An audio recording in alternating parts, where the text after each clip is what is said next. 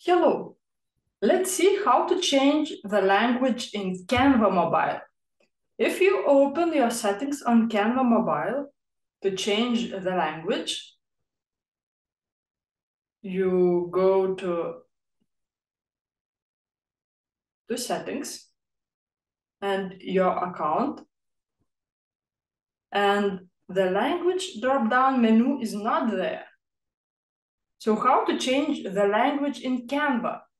So change the language you see on the Canva app by going to your mobile device's language settings. I'm going to settings and here let's choose general management, language and keyboard. So I'm clicking here and here we can choose language we can add language, we can search for our language. The, for example, I'm choosing Lithuanian and clicking apply. And now let's come back to Canva app.